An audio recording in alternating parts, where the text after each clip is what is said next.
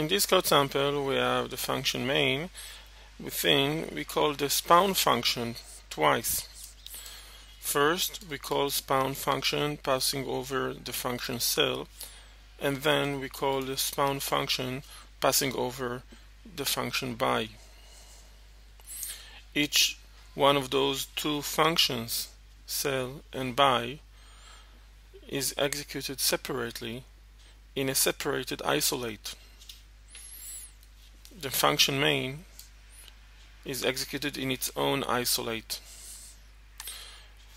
meaning that we can add some code kind of uh, short loop showing that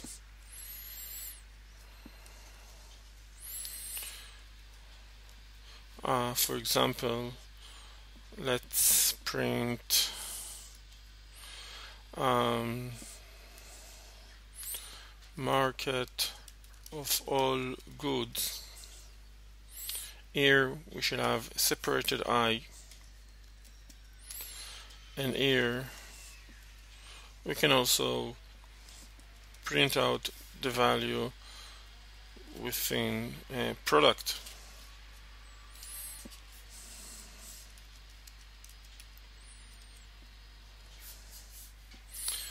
Uh, let's place a short delay.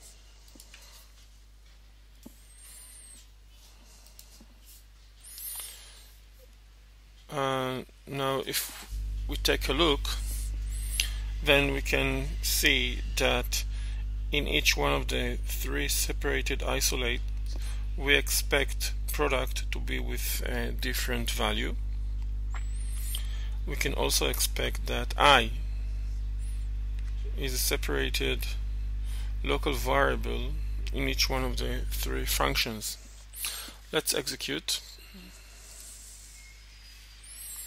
Now if we take a look at the output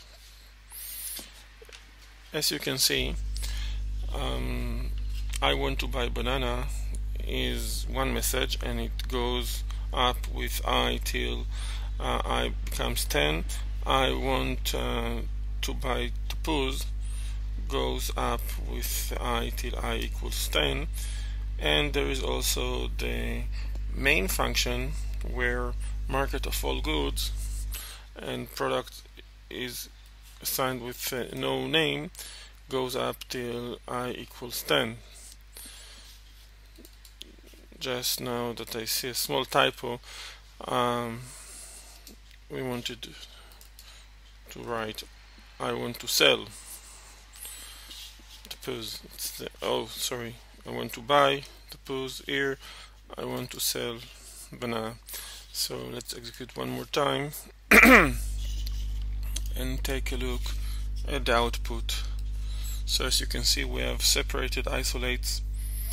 And in each one of them product is uh, assigned with a different value